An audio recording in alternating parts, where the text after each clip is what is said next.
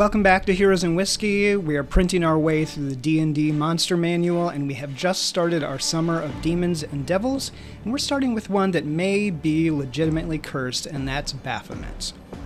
So this model is not actually Baphomet. It's called a Disciple of War and is from Lord of the Print. And in a minute, we're going to talk about how we, we got here.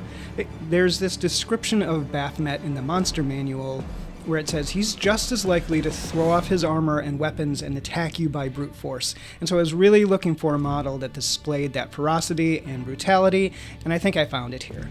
This guy looks fantastic, which is not a surprise from Lord of the Print. Everything about him, from his oversized muscles and horns and hooves to the sharp little details on his armor, everything just screams trouble.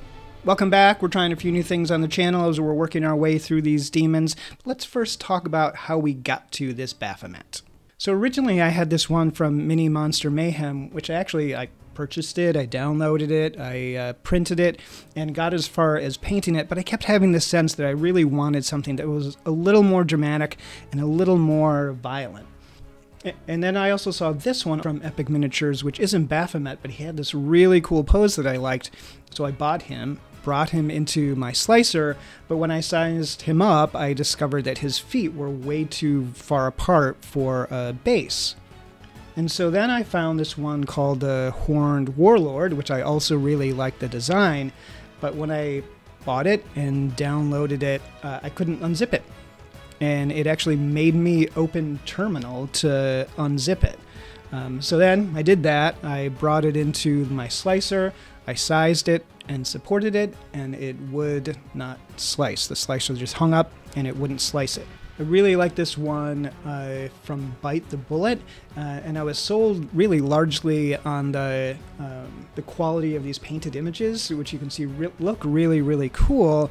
And so I purchased it. I downloaded it. But then when I brought it into my slicer, I discovered that the model itself just didn't really have quite the level of detail that I like. So I was at my wits' end. I went out to the creators that I know and trust, and I just searched for the word horned. That's all I searched for. And I found this one on uh, Lord of the Print.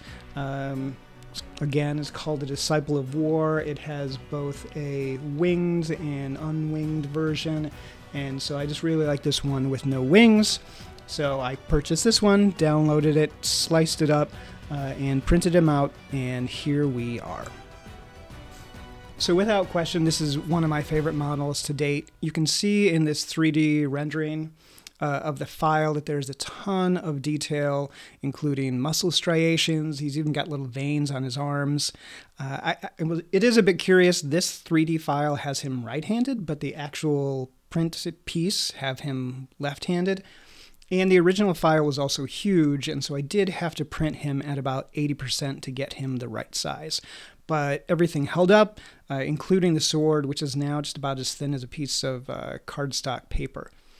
I also printed his base uh, on an FDM printer, so I did lose a little bit of detail, but overall, I still think he looks fantastic. Next to our six foot model, you can see he's about 15 to 18 feet, I don't know if you can see, but he has some skulls and bones on his base that shows he's just about the right size.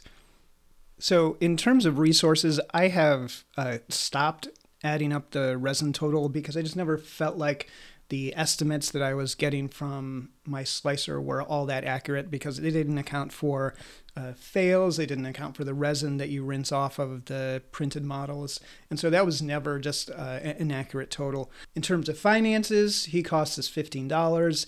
It took just under six hours to print.